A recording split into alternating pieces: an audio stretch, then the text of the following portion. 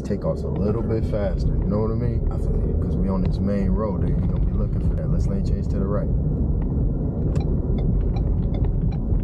Here. You're looking here, but you ain't looking here. Get you know what I'm saying? Let's lane change to the left. You're still not looking over the shoulder. Oh yeah, yeah. Over the shoulder. I keep forgetting my bad. Yeah, yeah, you gotta look over that shoulder. Let's go to the right.